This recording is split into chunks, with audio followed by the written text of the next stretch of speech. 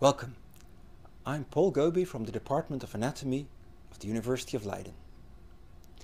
In this model we're going to discover the structures of the abdomen and where they lie. That's basic knowledge for this whole MOOC.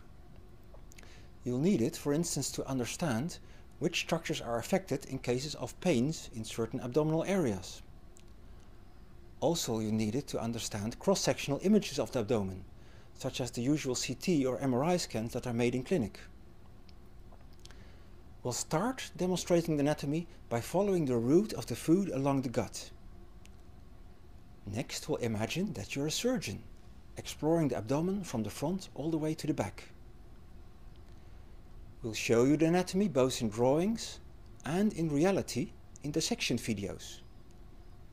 But don't worry, these dissections are optional.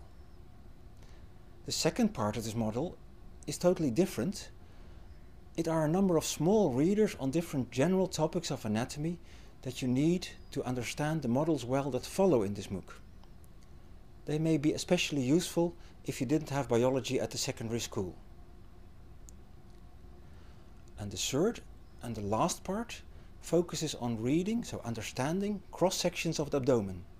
And that will enable you to basically recognize the structures on such a CT of the abdomen. So I think at the end of this model you'll have a great overview of all the structures in the abdomen. Let's start.